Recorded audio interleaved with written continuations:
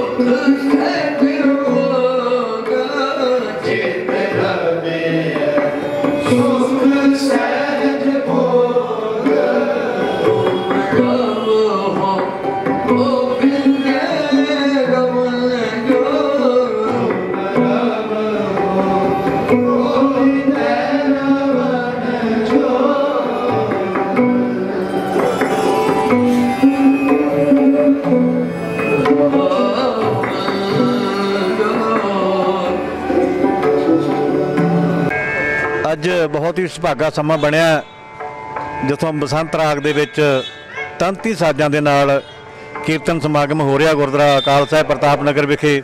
ਭਾਈ ਗੁਰਿੰਦਰ ਸਿੰਘ ਜੀ ਦੇ ਵੱਲੋਂ ਵਿਸ਼ੇਸ਼ ਉਪਰਾਲਾ ਕੀਤਾ ਜਾਂਦਾ ਹਰ ਸਾਲ। ਮੈਂ ਬਹੁਤ ਵਧਾਈ ਦਿੰਦਾ ਸਮੂਹ ਗੁਰਿੰਦਰ ਪਰਿਵਾਰ ਨੂੰ ਅਤੇ ਸਾਰੀਆਂ ਸੰਗਤਾਂ ਨੂੰ, ਜਿਨ੍ਹਾਂ ਨੂੰ ਇਹ ਸੁਭਾਗਾ ਸਮਾਂ ਪ੍ਰਾਪਤ ਹੋਇਆ। ਵਾਹਿਗੁਰੂ ਜੀ ਕਾ ਖਾਲਸਾ, ਵਾਹਿਗੁਰੂ ਜੀ ਕੀ ਫਤਿਹ। ਅੱਜ ਗੁਰਦੁਆਰਾ ਸਾਹਿਬ ਪ੍ਰਤਾਪ ਨਗਰ ਵਿਖੇ ਬਸੰਤ ਰਾਗ ਕੀਰਤਨ ਦਰਬਾਰ ਮੇਰੇ ਵੀਰ ਸਰ ਗੁਰਵਿੰਦਰ ਸਿੰਘ ਗਿੰਦਾ ਜੀ ਵੱਲੋਂ ਕਰਵਾਇਆ ਜਾ ਰਿਹਾ ਵਾ। ਇਹ ਇੱਕ ਬਹੁਤ ਸ਼ਲਾਘਾਯੋਗ ਉਪਰਾਲਾ ਵਾ ਕਿ ਗੁਰੂ ਸਾਹਿਬ ਦੇ ਨਾਲ ਜੋੜਨਾ। ਕਿ ਗੁਰਬਾਣੀ ਦਾ ਫਰਮਾਨ ਹੈ ਕਿ ਕਤਕ ਕਰਮ ਕਮਾਵਣੇ, ਦੋਸ਼ ਨਾ ਕਾਹੂ ਜੋਗ, ਪਰਮੇਸ਼ਰ ਤੇ ਭੁੱਲਿਆ ਵਿਆਪਣ ਸਭੇ ਰੋਗ। ਸਾਨੂੰ ਉਸ ਪ੍ਰਮਾਤਮਾ ਦਾ, ਜਿਸ ਪ੍ਰਮਾਤਮਾ ਨੇ ਸਾਨੂੰ ਇਸ ਦੁਨੀਆ ਦੇ ਉੱਤੇ ਭੇਜਿਆ, ਉਸ ਪ੍ਰਮਾਤਮਾ ਦਾ ਹਮੇਸ਼ਾ ਹੀ ਸ਼ੁਕਰਾਨਾ ਕਰਨਾ ਚਾਹੀਦਾ ਵਾ। ਔਰ ਇਸ ਤਰ੍ਹਾਂ ਦੇ ਕੀਰਤਨ ਦਰਬਾਰ ਕਰਵਾ ਕੇ ਸੰਗਤ ਨੂੰ ਗੁਰੂ ਸਾਹਿਬ ਦੇ ਨਾਲ ਜੋੜਨਾ ਔਰ ਗੁਰੂ ਸਾਹਿਬ ਦੇ ਦੱਸੇ ਉਪਦੇਸ਼ ਦੇ ਉੱਤੇ ਚੱਲਣ ਦਾ ਜਿੱਥੇ ਸਾਨੂੰ ਇੱਕ ਬਹੁਤ ਵੱਡਾ ਪ੍ਰੇਰਨਾ ਸਰੋਤ ਮਿਲਦਾ ਵਾ। ਉੱਥੇ ਗੁਰੂ ਸਾਹਿਬ ਜੀ ਜਿਹੜੀ ਬਾਣੀ ਆ, ਉਹ ਵੀ ਸਰਵਣ ਕਰਨ ਦਾ ਮੌਕਾ ਮਿਲਦਾ। ਇੱਕ ਵਾਰ ਫੇਰ ਮੈਂ ਸਰ ਗੁਰਵਿੰਦਰ ਸਿੰਘ ਗਿੰਦਾ ਜੀ ਨੂੰ ਔਰ ਸਮੁੱਚੇ ਇਹਨਾਂ ਦੀ ਟੀਮ ਨੂੰ, ਜਿਨ੍ਹਾਂ ਨੇ ਅੱਜ ਇਹ ਕੀਰਤਨ ਦਰਬਾਰ ਔਰ ਇਸ ਕੀਰਤਨ ਦਰਬਾਰ ਦੇ ਵਿੱਚ ਬਹੁਤ ਮਹਾਨ ਕੀਰਤਨੀ ਹੈ ਪ੍ਰੋਫੈਸਰ ਕਰਤਾਰ ਸਿੰਘ ਵੀ ਆ ਕੇ ਇਸ ਦੇ ਵਿੱਚ ਕੀਰਤਨ ਕਰ ਰਹੇ ਨੇ। ਮੈਂ ਇਹਨਾਂ ਨੂੰ ਬਹੁਤ-ਬਹੁਤ ਮੁਬਾਰਕਬਾਦ ਦਿੰਦਾ ਵਾ। ਵਾਹਿਗੁਰੂ ਜੀ ਕਾ ਖਾਲਸਾ, ਵਾਹਿਗੁਰੂ ਜੀ ਕੀ ਫਤਿਹ। ਵਾਹਿਗੁਰੂ ਜੀ ਕਾ ਖਾਲਸਾ, ਵਾਹਿਗੁਰੂ ਜੀ ਕੀ ਫਤਿਹ। ਬਸੰਤ ਰਾਗ ਕੀਰਤਨ ਦਰਬਾਰ, ਜੋ ਬਸ ਸਿੰਘ ਗੁਰਦੁਆਰਾ ਸਿੰਘ ਸਭਾ ਅਕਾਲ ਸਾਹਿਬ ਪ੍ਰਤਾਪ ਨਗਰ ਵਿਖੇ ਇੱਥੋਂ ਦੀ ਪ੍ਰਬੰਧਕ ਕਮੇਟੀ ਅਤੀ ਸਤਿਕਾਰਯੋਗ ਪ੍ਰੋਫੈਸਰ ਕਰਤਾਰ ਸਿੰਘ ਜੀ ਦੇ ਪੂਰਨ ਸਹਿਯੋਗ ਦਾ ਸਦਕਾ ਅਤੇ ਸਰਦਾਰ ਗੁਰਿੰਦਰ ਸਿੰਘ ਜੀ ਦੇ ਸਹਿਯੋਗ ਦਾ ਸਦਕਾ ਅੱਜ ਕੀਰਤਨ, ਬਸੰਤ ਰਾਗ ਕੀਰਤਨ ਦਰਬਾਰ ਆਰੰਭ ਹੋ ਰਿਹਾ ਹੈ। ਇਹ ਵਧਾਈ ਦੇ ਪਾਤਰ ਹਨ। ਇੱਥੋਂ ਦੀ ਪ੍ਰਬੰਧਕ ਕਮੇਟੀ ਜਿਨ੍ਹਾਂ ਨੇ ਉਪਰਾਲਾ ਕਰਕੇ ਇੱਕ ਬਹੁਤ ਹੀ ਵਜ- ਵਧੀਆ ਤੇ ਸੁਚੱਜਾ ਪ੍ਰੋਗਰਾਮ ਲੋਕਾਂ ਨੂੰ ਦੇਣ ਲਈ ਉਪਰਾਲਾ ਕੀਤਾ ਹੈ।